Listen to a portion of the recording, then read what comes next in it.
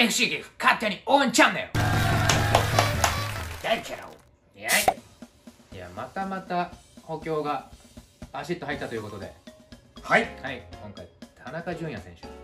田中純也選手いらっしゃーはい。です三獅子気に入ってんすか？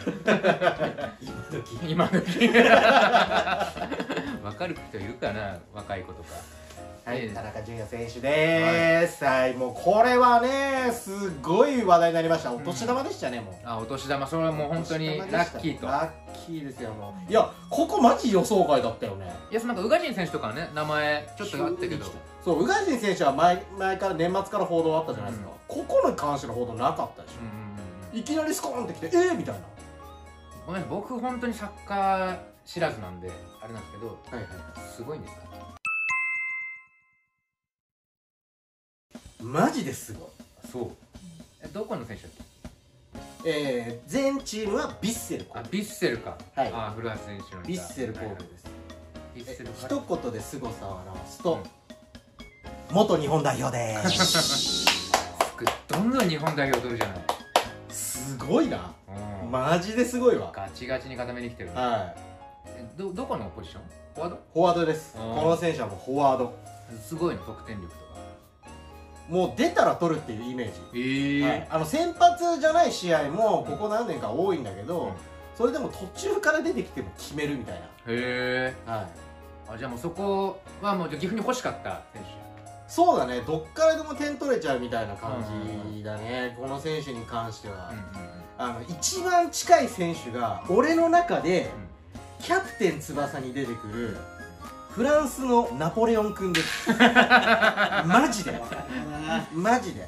俺の中ではだから和製ナポレオン。これもう来もう今年つけてほしいこれもう広めてほしい。和製ナポレオン。ややこしいんでキャプテン翼が和製なのに それはな日本の漫画ですからね。一回だからもう一回逆輸入して。長良川にもあるじゃん翼くん立ってるじゃん。はいはいだからもうもうもうだからナポレオンくんを立ててほしい。であの若いあの視聴者とかで知らなかったら一回キャプテン翼読んで。調べて。調べて。調べるって言わないんだそれ。でナナポレオン君の必殺キャノンシュートがあるからで田中選手のキャノンシュートが見れるかもしれない。キャノンシュートがね。で本当にキャノンシュートなの。あもうドーゴンいくの？ドゴンいくの。へえあのシュートレンジが日本人離れしてます。あそういうタイプなんだ。ははいあはあはあはあ。大体エリアの中とか、まあそこら辺で日本人はあ大体もう確率高いところでもう行くぞドンっていう。あうんうんうん。ある程度の確率高いっていう状況になった時に打つけど、田中選手は関係なしですどっからでも狙いに行く。どっからでもいけるから。一番怖いやつじゃん。ミドルでも何だろうがいったろうみたいな超好きそういう選手。いける？そその距離いけちゃう左足、へえ。あそうもしくはもう青木伝説シュートの年。だからもう今の子わかんないんだって。全部古いんだよ。今みんなブルーロックとか読んでるから。知らない掛川高校の年知らない？知らないよ。え知らない？絶対見てないよ。え久保さんサッカー好きですって言ってた。年知らない？なんかまあそのミドルシュートが強い。ミドル強いね。で他にもまあ万能なんですけどね。うん何でもできるけど、まあ何でもできるけどある程度キープもできるしゴールゴール嗅覚っていうよりはまあでも本当左足のパンチ力だ。うん。ううん。んそこだと思なるほどね。うなので、まあ、個人的には今年、えーまあ20まあ例えば20試合ぐらい先発出て67点ぐらいは決めてくれるかなと。へえいう予想はします、えー下手に全然2桁な可能性あるけど。うんうんうんでもまあ最低限そこぐらいは仕事してくれるかなうんおと、ー。はい、最低でもその感じだ。最低でも。で新しく入ってる選手もそうだけど、要は前でさ、ディフェンスと駆け引きをする選手がいてディフェンスが嫌だなと。でその選手にマークつくと。でスペース空くじゃん空いたせい空いたところに田中純也がいてズゴーンみたいああそのパターンがあるんじゃないなか。そう。そうあのもうだから遠距離砲を手に入れたかいいね。らはい。だ今までは結構さ柏木選手が運んなんかポンと入れていた人にポンっていう。であと川西先生がキープしてとか。うんうんあったけどまた別のオプションですねいいね。それ選択肢増えるのにはい。相手守りにくいしね。そうそう。で印象的なゴールもめちゃくちゃ多い、うん、あ勝負強い。本当なんかロスタイム最後に決めるみたいなああーはいはいはいはい。あいいねそういうの持ってる選手ね。だからそういう選手なんで。うん、うん、2010年に柏レイソル1年目、うんとく正しくは2年目か、でその時に J2 でレースが優勝したんですよ。うんうんあの柏レイソルが J2 リーグ、うん。でその次の年、昇格した一発目に優勝したの。えすごいそんなトントンそういうのがあったんですよ。えはいもう下克上ですよ本当に、でその時のエースですか？らあそうなんだ。あ何この選手っていう。へえ。その VV はしてた頃のそうそうそう。あトップもエースを張ってたと。そう。昇格したレイソルが1年目で優勝できたのは田中純也がいたから。へえ。あじゃあもう昇格の勢い乗ってるあれも知ってんだ自分の中で。だからもう経験もしてるしねうん。優勝の経験もしてるし、うんうんうん。2桁得点も取ったことあるしと、へだからこれはどこつながりで来たのかなぐらいだよね。不思議でした。え接点ないんだ。全くもう予想外。まあ浦和元浦和の選手でもなければ元京都の選手でもないから。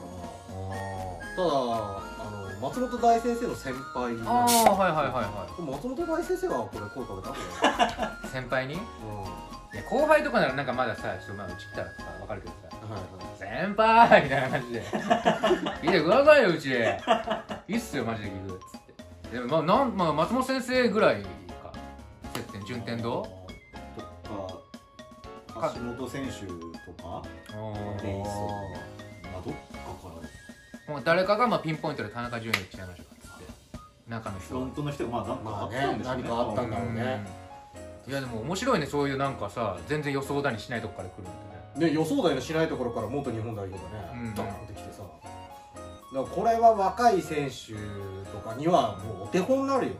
そうだね。だからあの前にいた前田良一枠ああはいはいはい。みたいな感じとまたちょっと違うけどうん年齢もちょっと若いし。うんうんうんけどお手本になる選手だよねもうね、うんうんなるほどね。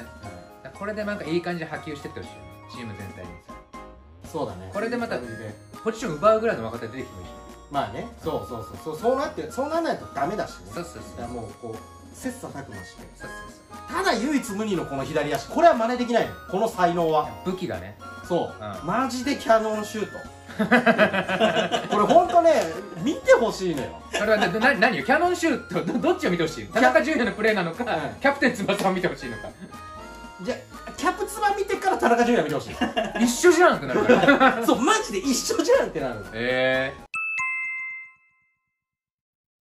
一番前だけどスリートップだと左もしくは右左右かー右とかやったりとか、藤岡選手とはポジションどう？まあ、ちょっとかぶってくる。ちょっとかぶって多分ねトップ2枚でいくんじゃないかな。442でいくと思うんだよね。だからトップ2枚にするんだったら運動家藤岡か運動家田中。あー442にしたら久保久保ちゃん使えるから久保田。が後ろ4枚でしょ、でもう1枚4枚作ったらここにあ久保ちゃんを入れるこうちゃんそこの方がいける。久保ちゃんここだまあ一番もう将棋の駒がだから揃ってきてるよねもうね。そう。ちゃんと飛車がパチッと入ったから。そうちゃんとそう。いいですね。攻撃力がどんどん上がっていきます下がね3枚ぐらいあ るダメでそんな使っちゃう